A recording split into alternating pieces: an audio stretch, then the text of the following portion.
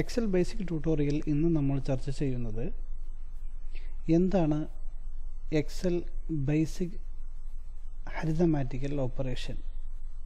സാധാരണ mathematical operation ഉപയോഗിക്കുന്നത് പോലെ നമുക്ക് എക്സലിന്റെ സെല്ലുകൾ ഉപയോഗിച്ച് നമുക്ക് കാൽക്കുലേഷൻ കാൽക്കുലേഷന് വേണ്ടി നമുക്ക് ബേസിക് ഓപ്പറേഷൻസ് നമുക്ക് ഉപയോഗപ്പെടുത്താം. നമുക്കത് എങ്ങനെയെന്ന് നോക്കാം. ഓക്കെ നമുക്ക് എക്സൽ ഓപ്പൺ ചെയ്യാം. അതിനുവേണ്ടി നമുക്ക് അടുത്തൊരു ഷീറ്റ് ഓപ്പൺ ചെയ്യാം ഓക്കെ ഇന്ന് ശ്രദ്ധിക്കുക നമ്മളിവിടെ രണ്ട് വാല്യൂ അപ്ലൈ ചെയ്യുന്നു ഓക്കെ ട്വൽവ് അടുത്ത സെല്ലിൽ നമുക്ക് ഒരു തേർട്ടീൻ എന്ന രണ്ട് വാല്യൂ നമുക്കിവിടെ എ എ എന്ന വാല്യൂ സോറി എ ബി എന്ന രണ്ട് വാല്യൂ നമുക്ക് ഇവിടെ അപ്ലൈ ചെയ്യാം. നമുക്കിതിനെ സെന്റർ അലൈൻ ചെയ്യാം. ഇനി അടുത്തത് നമുക്ക് ഈ വാല്യുവിന്റെ മൾട്ടിപ്ലിക്കേഷൻ നമുക്ക് ലഭിക്കും. എങ്ങനെയാണ് ഇതിന്റെ മൾട്ടിപ്ലിക്കേഷൻ ഇക്വേഷൻ നമുക്ക് സിമ്പിളായി നമുക്ക് ഇങ്ങനെ ആഡ് ചെയ്യാമെന്ന് നോക്കാം. അതിനുവേണ്ടി നമ്മൾ മൾട്ടിപ്ലൈ ഇതിന്റെ സിമ്പിൾ ഇതാണ് നമ്മൾ സിമ്പിളായിട്ട് മൾട്ടിപ്ലിക്കേഷൻ സിമ്പിളായിട്ട് ഉപയോഗിക്കുന്നത്. ഇത് ശ്രദ്ധിക്കുക. നമ്മൾ ഏതാണോ മൾട്ടിപ്ലൈ ചെയ്യേണ്ടത് ആ വാല്യൂ വളരെ സിമ്പിളായി നമുക്ക് സെലക്ട് ചെയ്യാം. നമ്മൾ ചെയ്യേണ്ടത് ഇത്രമാത്രം കീബോർഡിൽ ഈക്വൽ ടു പ്രസ് ചെയ്യുക. അതിനുശേഷം ഏത് വാല്യൂ ആണോ നമുക്ക് മൾട്ടിപ്ലൈ ചെയ്യേണ്ടത്? ആ വാല്യൂ ആദ്യം സെല്ലിൽ സെലക്ട് ക്ലിക്ക് ചെയ്യുക. ഇപ്പോൾ ശ്രദ്ധിക്കുക സി ടു എന്ന ഈ സെല്ല് നമ്മൾ ഇവിടെ ക്ലിക്ക് ആയിട്ടുണ്ട്. ഇനി നമ്മൾ കീബോർഡിൽ ഇന്റു പ്രസ് ചെയ്യുക. അതിനുശേഷം നമുക്ക് ഏത് വാല്യുമായാണോ ഇതിന്റെ മൾട്ടി മൾട്ടിപ്ലിക്കേഷൻ ഗുണനം നടത്തേണ്ടത് ആ സംഖ്യയെ അടുത്ത് സെലക്ട് ചെയ്യുക. ഓക്കെ നമ്മൾ സെലക്ട് ചെയ്തു. ഇനി നമ്മൾ എന്റർ കീ പ്രസ് ചെയ്താൽ. ഇതിന്റെ വാല്യൂ നമുക്ക് ലഭിക്കും. ഇപ്പോൾ ഈ വാല്യൂ ക്ലിക്ക് ചെയ്യുമ്പോൾ നിങ്ങൾക്ക് കാണാം. C two into D D two okay അപ്പോൾ എങ്ങനെ ഒരു സിമ്പിൾ മൾട്ടിപ്ലിക്കേഷൻ അതായത് ഗുണനം നമുക്ക് എങ്ങനെ സിമ്പിൾ ഗുണനം നടത്താമെന്ന് നിങ്ങൾക്ക് മനസ്സിലായി കാണും. നമ്മളിത് സെന്റർ അലൈൻ ചെയ്യാം.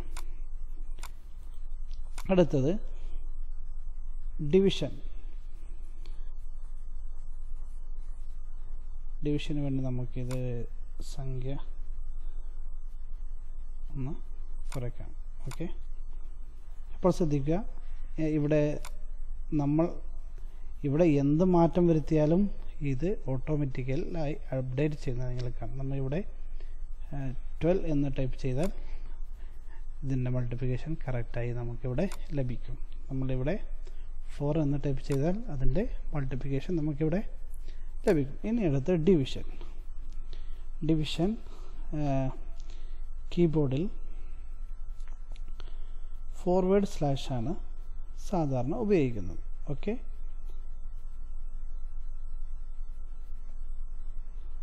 സോറി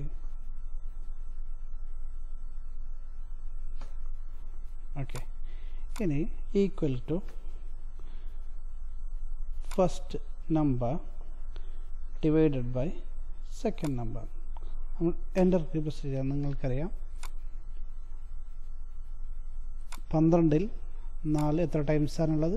ത്രീ ടൈംസ് ഓക്കെ അപ്പോൾ വെരി സിമ്പിളായി നമുക്ക് എങ്ങനെ ഇനി ശ്രദ്ധിക്കുക ഇവിടെ നമ്മൾ എത്ര വാല്യൂ ചേഞ്ച് ചെയ്യുന്നതനുസരിച്ച് ഇവിടെ നിങ്ങൾക്ക് ഇത് ഓട്ടോമാറ്റിക്കായി ഇത് അപ്ഡേറ്റ് ചെയ്യുന്നതായി നിങ്ങൾക്ക് കാണാം.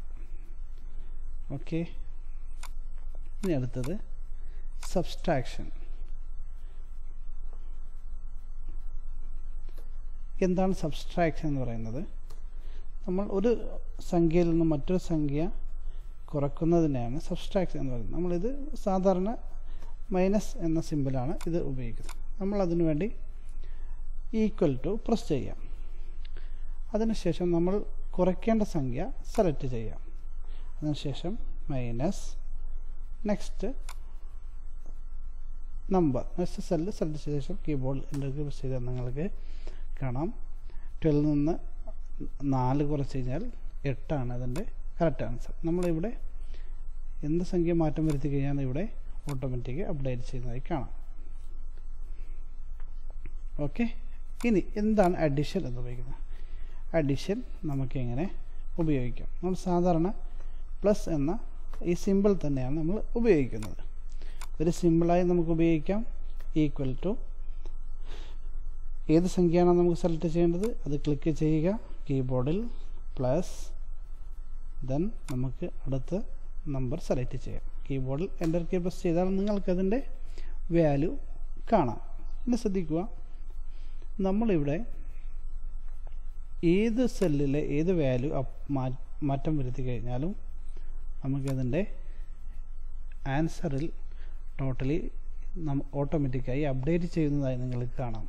ഇപ്പോൾ നിങ്ങൾക്ക് മനസ്സിലായില്ലേ? എത്രമാത്രം യൂസ്ഫുള്ളാണ് എക്സലിന്റെ കാൽക്കുലേഷൻ എന്നത് വെരി സിമ്പിളായി ഉള്ള ഒരു കാൽക്കുലേഷൻ കോംപ്ലിക്കേറ്റഡ് ആയ കാൽക്കുലേഷൻ വെരി സിമ്പിളായി നമുക്കിതുപോലെ ഈസിയായി ഓട്ടോമാറ്റിക് അപ്ഡേഷനിലോടുകൂടെ നമുക്കിത് അസൈൻ ചെയ്യാൻ കഴിയും.